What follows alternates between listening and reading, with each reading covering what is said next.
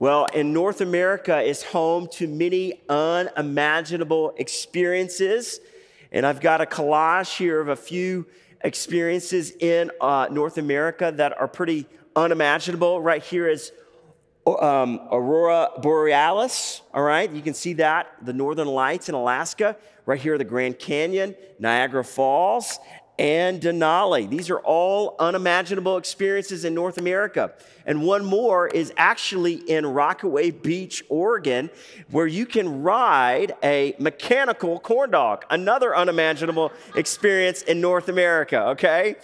Our country is home to some unimaginable things. Isn't that great? We can just experience some really, really cool stuff in North America. And today, as we continue our Acts series, we're going to pick up in chapter two and experience an unimaginable scene, an unimaginable experience that happens to the disciples and a huge crowd of people. And chapter two is all about this iconic event called Pentecost, okay? You may have heard this, but today's chapter and studies we continue is about an unimaginable event called Pentecost. And what we're going to see through that is the fulfillment of what Jesus talked about earlier, where he says, I'm going to bring my Holy Spirit. And more than that, he's going to be, uh, we're going to see the fulfillment of an Old Testament prophecy. And then lastly, it's going to be the fulfillment and conclusion of what we alluded to last week. And what we're going to see is that Jesus ascends, the Holy Spirit comes down, and then people are filled with the Holy Spirit. And through all of this, this unbelievable scene of epic proportions, God is doing some God sized things to create a movement in Jerusalem to the ends of the earth. And He's going to interact with people in a new way and say, I'm doing something new for now and for all time. He's going to make Himself accessible to the people then and to us now. And He's going to do that to all people who believe in Jesus, who call him Lord and Savior. And that leads me to today's big idea, and it's this that God has an unimaginable way of enabling believers to do his unimaginable work. So if you have your Bibles, turn with me to Acts chapter 2. If you've got this awesome blue journal Bible, we're going to be in page 8. Uh, if you've got the big orange and gray Bible in the back, it's page 938. And if you would, just be gracious with me. I'm like on the back stages of a cold. So if I lose my voice or if I sneeze or cough, um, be gracious with me, okay? I, I believe the Lord's gonna be with me through this. But as you turn there, we're gonna look through verses one through four and see the first unimaginable thing that God does is God enables believers with the Holy Spirit. Let's read verse one. When the day of Pentecost had arrived, they were all together in one place. Let's stop there. Pentecost was a Jewish festival. So right now they're celebrating. And Pentecost means 50th, which essentially is 50 days after Passover. Remember, they were pa- celebrating Passover during Jesus' crucifixion. Um, and, and so this is 50 days after that. But what Pentecost is, is a feast and celebration of two things. One, to commemorate the giving of the law. Remember when we studied Deuteronomy and Moses uh, uh, was reflecting back on when they got the law at Mount Sinai that God gave them the, the Ten Commandments? Well, they're commemorating that. They're remembering that God gave them the law. And secondly, they're celebrating and thanking God for the harvest from their crops. And I want you to remember the latter point of that. So it's a big feast. And as we read verses two and three, we're going to actually see this unimaginable thing happen at Pentecost. Verse two suddenly a sound like that of a violent rushing wind came from heaven and it filled the whole house where they were staying. Now, I want to stop there. The first thing that we see from this is um, a sound, a, a audible thing, an audible, unimaginable thing. That's the first sensual thing that God is doing to make his presence known. It's a violent, rushing wind coming from heaven. God's spirit from scripture, why this is, uh, why we need to take note of this, is commonly referred to as wind. We've seen him as uh, reference or synonymous to wind before. And so I've never um, experienced a tornado up close, but I come from a region of the country where tornadoes are common in the South, okay? And so I've met people that have been in the eye of the storm, okay? They've heard it and they've had to hunker down and get close and be safe. And what they've described a tornado sounding, this kind of twirling of rushing wind, it's like a freight train. So I can imagine this sound sounding something like a freight train. But also, if we read in verse 3, not only is there an unimaginable sound, there's an unimaginable sight. Verse 3 says, They saw tongues like flames of fire that separated and rested on each of them. So, right here, tongues that were like flames of fire, real, appeared and separated and then rested on each of them. And again, just like wind was often referred or synonymous to God, so too is fire. We see in scripture that it says God was an all consuming fire. It's referred to him in that way. Also, remember Moses in the burning bush. God revealed himself in the burning bush. All of this is pointing to show that this is not like some kind of like mirage or they're hallucinating. This is a real event. And God through Luke, like Luke is capturing all this to tell uh, the audience and the readers here that this was a real event using wind and fire to show that this was a sign that God was present and real, that the disciples were encountering God and not hallucinating or tripping, okay? And as we read verse 4, we're gonna see that all of this was leading, okay, the sensual sight and sound to actual um, leading to a verbal, unimaginable experience where they begin to speak in tongues. Read verse 4. Then they are filled with the Holy Spirit and they begin to speak in different tongues as the Spirit enabled them. And the ability to speak in tongues here is this another unimaginable thing. It's here that the moments uh, that the disciples were filled with the Holy Spirit, and now they have the power to do some things that they weren't able to do before. And the scripture says they were enabled to speak in different tongues. And now we'll address that in a moment, what that actually means. Uh, but the main point here is to see that the power that Jesus promised to give them is finally here. Like Jesus talked about this on and on, and it is finally here. It's finally upon them, it's finally in them. And this scene of them speaking in tongues is unimaginable. And then speaking different languages, because these men are from Galilee, okay? They're blue collar, they're Hicks, all right? All right, I can say that because I'm from Alabama, all right? They're uneducated. They're not like the elites that have diplomas, okay? They're not like Glenn, okay? They've got the diplomas. God is using them to do some awesome things, okay? He's falling upon them, his spirit. And God used this and used these men to get the attention of these people at this time to launch an incredible movement of God. And what's significant about all of this is that this is the moment that the physical temple, okay, that was in Jerusalem at the time, is now becoming the temple of people. Listen to this. The temple that was physically located in Jerusalem was the centerpiece for God's presence. And God at this moment is moving where his presence is in that temple now to his people. Now to anybody who believes in Christ Jesus as Lord, now is the temple of God because God is residing in them.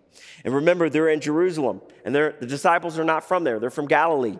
But Jesus' mission is starting here for a reason. One, because many people from around the world are in Jerusalem here for Pentecost, but two, and more importantly, Jerusalem is where the, the temple was and where God's presence dwelt. So he's doing something very strategic in this moment, all right? And I want to show you this graphic about the Jewish temple. All right? This is a kind of, an, um, kind of a slice of it.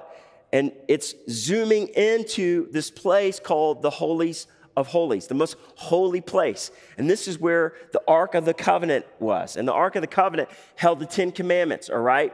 But this is where God's presence was regulated.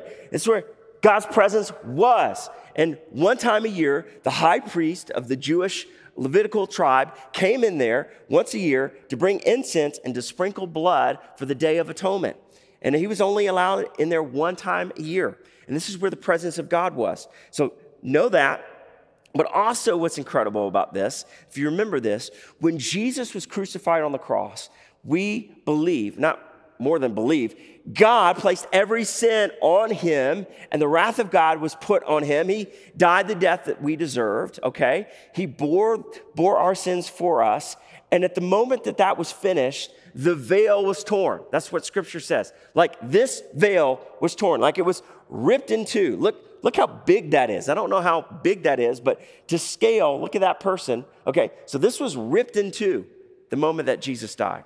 And what that signifies is that the veil was torn and that where the presence of God was is now unleashed on his people. All right? It's now unleashed on his people.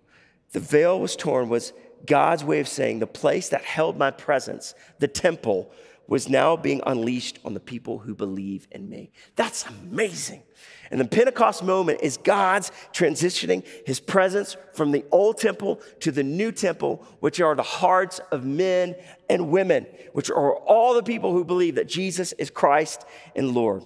And this is designed because this is all about Jesus' work continuing through his people. Remember, we believe that the whole book of Acts is Jesus' work continues by the Holy Spirit through his followers. And this is what this is all about. I'm taking my presence that was in the temple, now I'm putting it in you. And why this matters, listen to this why this matters to have this acknowledgement and um, uh, cognizant of God's Spirit in us is because at this very moment, if you are a believer, if you believe in God, if you're a follower of Jesus, you have a real and authentic access to God. Before you ever walked into this building, God was with you. What this passage implies is that there's no longer um, this concept that God is bound to four walls or is regulated to cathedrals or in the Holy of Holies. He's in you. That's amazing, church. For when you are in the waiting room, waiting on lab results and the blood work, God's presence is with you. When the inner child is rearing its ugly head because of abandonment issues or trauma, God is with you. His presence is with you to remind you that He is Abba, Father, your dad.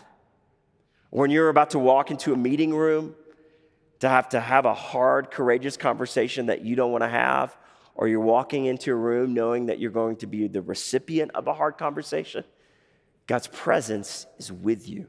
Believer, you, if you're a follower of Jesus, you are a temple of the Most High. God's presence is with you. It's amazing news. The presence of God for all who believe is now readily available to all followers of Jesus. That is amazing news, church. But what about tongues? What about tongues? What is this all about? Is this the prayer language stuff? Is this referring to speaking in tongues, the unintelligible things that the charismatic church does? Well, let's pick up in verse 5 and see what this is actually all about. Verse 5 Now there were some Jews staying in Jerusalem devout people from every nation under heaven. When this sound occurred, a crowd came together and was confused because each one heard them speaking in his own language. They were astounded and amazed, saying, Look, aren't all these people who are speaking Galileans? How is it that each of us can hear them in our own native tongues? Jump down to verse 12. They were all astounded and perplexed, saying to one another, what does this mean? But some sneered and said, They're drunk on new wine. Simply put, the Holy Spirit enabled disciples to speak with different languages. Jerusalem is a city house with a variety of nationalities, tribes, and tongues, and people groups. It's kind of like a city right now, like New York or Vancouver, where there's nations represented, represented all over.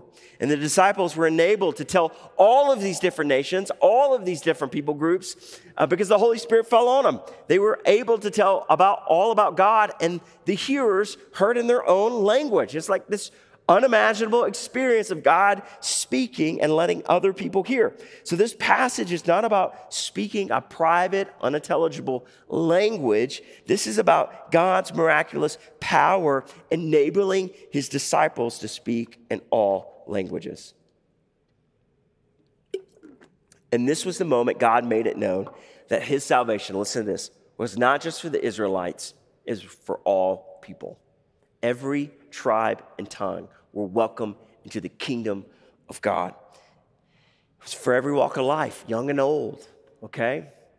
It's God's way of saying, I'm the father of everyone. This is why we have the value of engage everyone, because we believe no matter who you are, where you're from, you're part of the family of God. Like, there's no elites. We don't want to show partiality. Like, wherever you're from, we want you to know that you belong in the family of God. But as we can see in this text, God's saving nature, an unimaginable scene here, rubs some people the wrong way. They didn't like this. This is like foreign to them. This is like unexplainable. So these people must be drunk. And what we see as we continue reading in verse 15 is God does an unimaginable thing through this guy named Peter, okay? And he says, Hey, we're not drunk. God's just doing some crazy stuff. As we pick up in verse 15, we're going to see the second unimaginable thing is God enables believers to do his work. Verse 15. Peter says, For these people are not drunk, as you suppose, since it's only nine in the morning. Okay, this is his way of kind of tongue in cheek saying, guys, look, it's too early for us to be, be drunk, all right? We haven't had enough time to be drinking. On the contrary, this is what was spoken through the prophet Joel. He's looking back to the Old Testament and he quotes this from Joel. And it will be in the last days, says God. And what this means is this is the new covenant, which is God's way through Jesus of doing something new through the death, burial, resurrection of Christ and all who believe in him. That's what that means, okay? And I will pour out my spirit on all people. Then your sons and your daughters will prophesy. Your young men will see visions, and your old men will dream dreams. And Peter emerges from the crowd. This is what we see from the text. And he says, We aren't drunk, we're just filled with the Spirit. Now, we can be a little sympathetic to the people that were kind of cynical about this because they've never seen anything like this. Like, this is supernatural, this is unimaginable. So, we can be a little sympathetic to, to say, like, hey, these people are doing some crazy things, they may be drinking. But what Peter's pointing out to the scripture, uh, what, what he's pointing out is pointing the scripture to anchor what they're seeing to something that God, through the prophet Joel, prophesied long before, okay? And it's also helpful, helpful for us to know that anything that we do as believers now, as the church, should be anchored in Scripture, all right? So what Peter's doing is saying, hey, what you're seeing is crazy, but actually, God, through Joel, prophesied this. This is anchored in the tradition of our faith. And the same thing is true for us. That's a side note. Another side note, what we also need to see here it's a little side sermon, okay? Is that Peter is doing this beautiful um, dance of balancing spirit and truth. There's an incredible move of the spirit. Like God is doing an amazing work that's just like advancing his kingdom. Like people are getting saved and we're seeing some miraculous stuff. But also on the other side, he's anchoring it in truth with scripture. And so he's doing both. And why I share that today is sometimes we can be a part of churches or movements or even be a person that lives in one or two of those camps. For example, maybe you've been a part of a church that's just spirit driven. Like it's just God's doing some crazy stuff and it's always spirit driven, but there's no truth. That's a sign of an immature church or a person. Or maybe you've seen a person that's just spirit driven, but they lack truth. That's a sign of an immature person. But the same is true on the other side of the coin.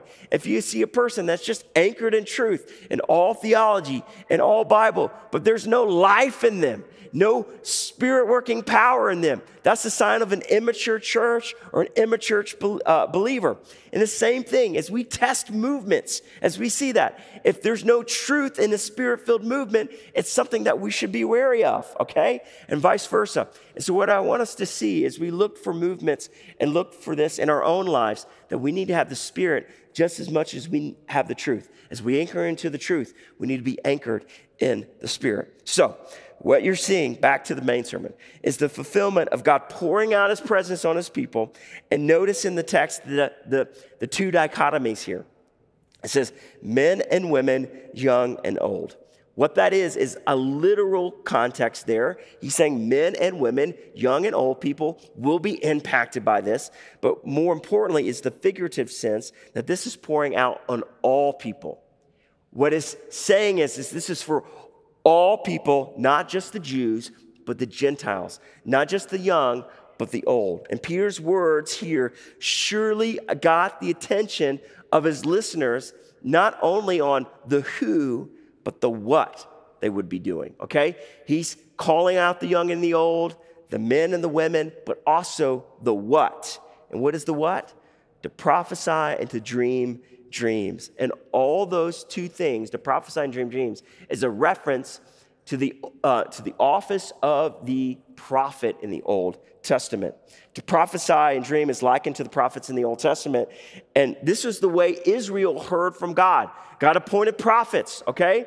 And the prophet's job was to hear from God in those days and then they were the mouthpieces for God to the people of Israel. And these men would hear from God and deliver an encouraging word and sometimes a devastating word to the people of God, okay? And God would use these prophets to deliver instruction or hey, heed this warning or give direction on how to obey or uh, uh, how to behave or obey the Lord. And God's people were dependent on these prophets. Like the people of Israel, if they needed to hear from God, it was from these prophets, okay?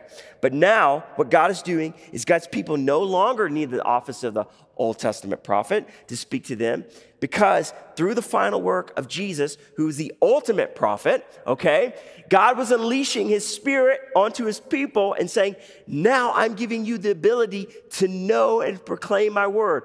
Once that was regulated to the prophets, now you are able to do this. That doesn't mean that we're prophets, like capital P. It just means that we have the ability to do what the prophets did, uh, to know God personally and to proclaim His word like they did. We have access to God where they were the sole piece of access. And I know this can be confusing because we've talked about the gift of prophecy before. Similar language, but it's different in this. It's not the gift of prophecy. The gift of prophecy, what we see later in the New Testament, is a gift given by God, which certain people have the gift of encouraging one another through Scripture. Okay, it's not the same thing.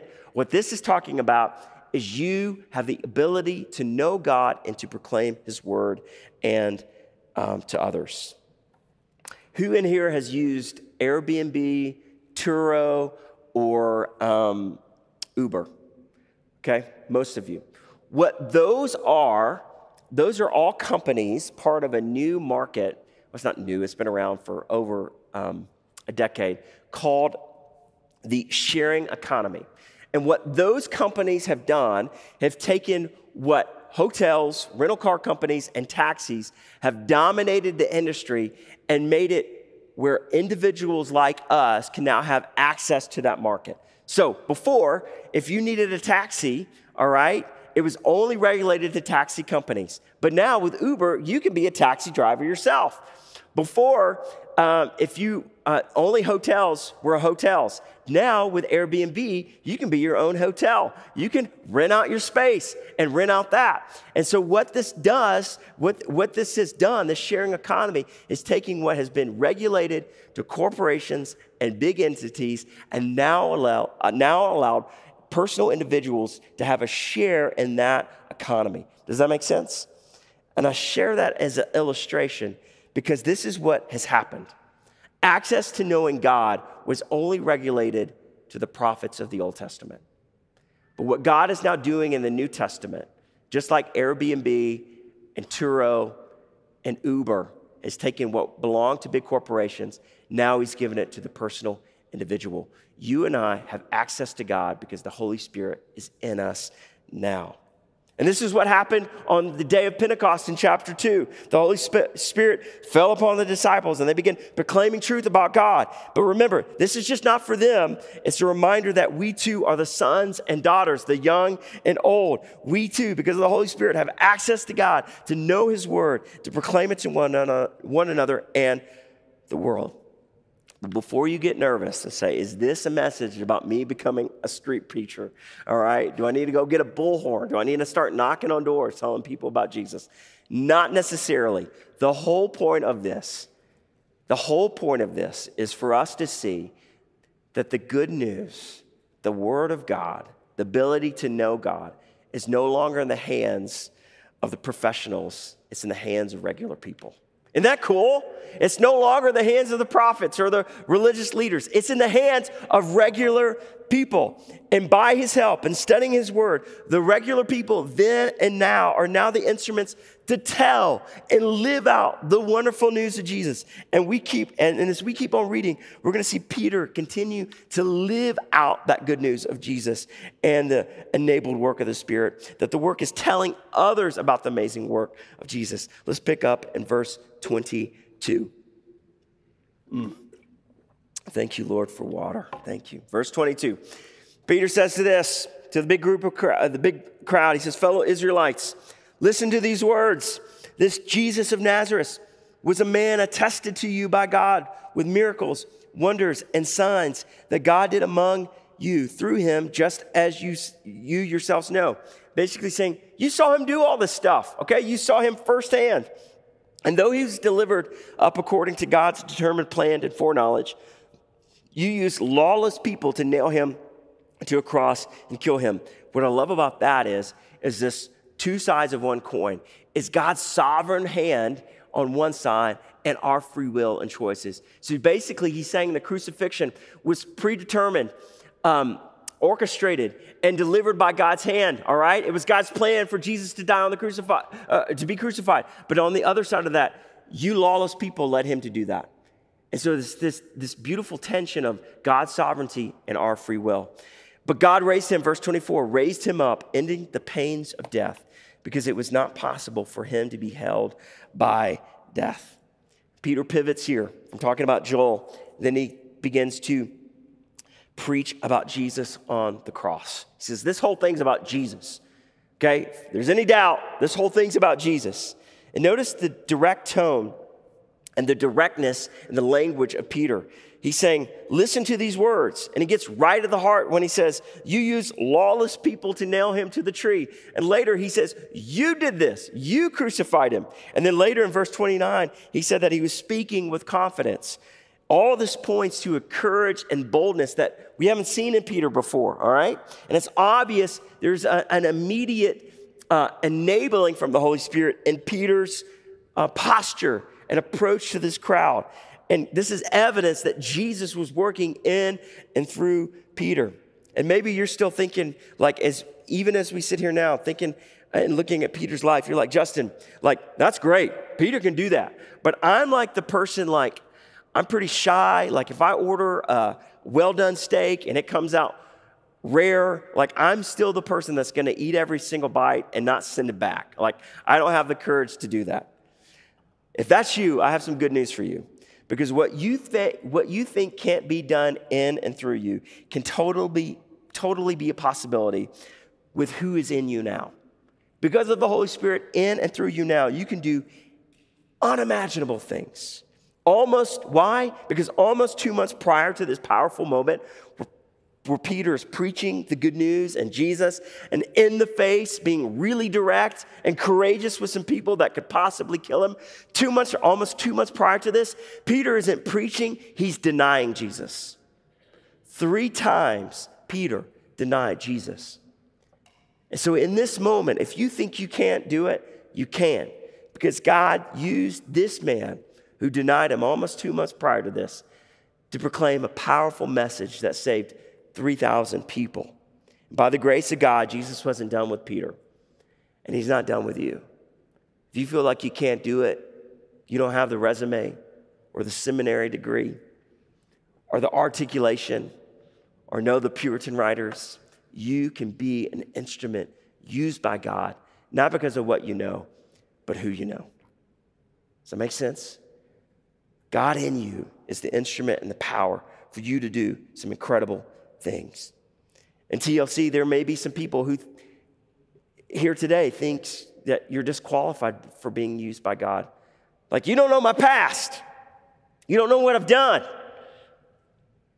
God can still use you too. Peter denied Jesus three times. If he can use a man to help save 3,000 people, what can he do in and through you? God is looking for available vessels. And this is the whole point of the Bible, all right? God will never ask us to do something that he's not willing to equip us to do. Like that's the whole point is the empowered spirit life.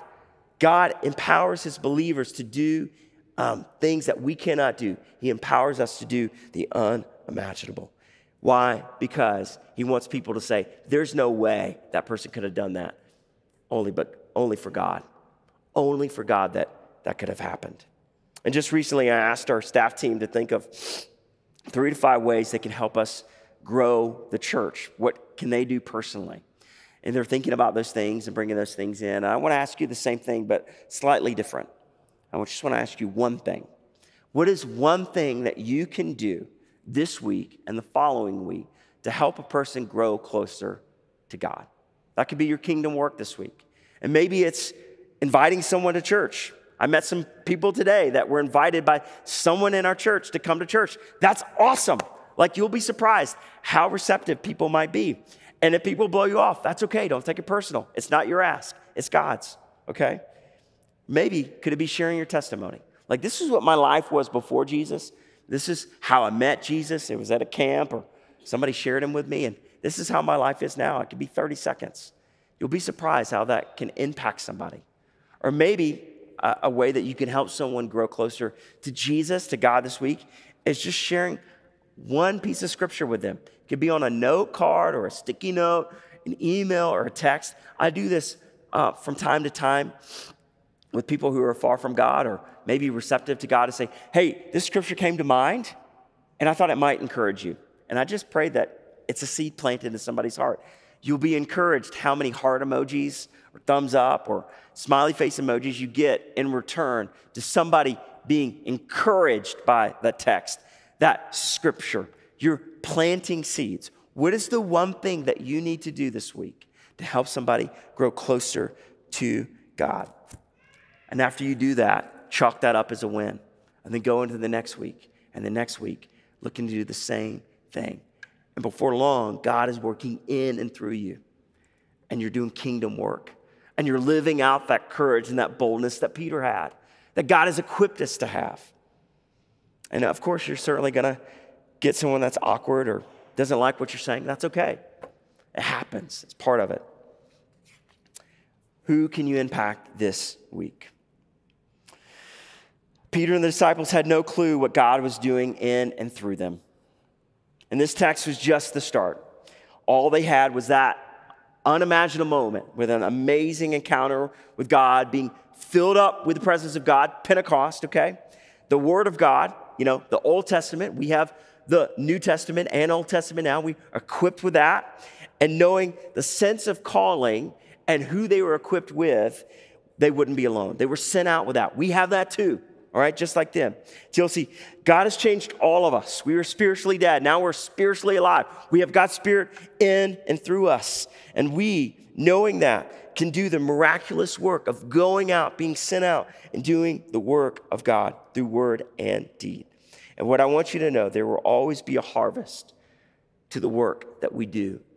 There will always be a harvest. When we sow into the kingdom, we're always going to reap a harvest. Remember, Pentecost was a celebration of the first harvest of crops. Remember that? They were celebrating the, the harvest. We're going to see as we pick up in verse 37 that the disciples and the early experiences of its first um, experience with God reaped an incredible harvest. Let's pick up in verse 37. When they heard this, that's the crowd, they were pierced to the heart and said to Peter and to the rest of the apostles, Brothers, what should we do? Peter replied, Repent. That basically means turn around, have a new way of thinking, stop living the old way, do a 180. Repent and be baptized, each of you, in the name of Jesus Christ for the forgiveness of your sins, and you will receive the gift of the Holy Spirit. Verse 41, let's drop, drop down there. So those who accepted his message were baptized, and that day about 3,000 people were added to them. 3,000 people were saved that day. Is that not amazing? And they were changed in, an unimaginable way from an unimaginable work and an unimaginable event called Pentecost. And what happened for them is we saw some unimaginable growth from like 12 to 3,000. I did the math on that. That's a 25,000% increase. That's insane. I would love to have that kind of yield in my, you know, 401k, all right? And TLC, the same God who was behind that rapid growth is the same God that is here today is the same God who wants to do an unimaginable work in and through us and our church. The same God calling those to do his work then is calling us to do it now. There's no telling what God wants to do in and through our church. He's wanting to be a part, uh, he's wanting us to be a part of that. And the question is, are we willing to do that?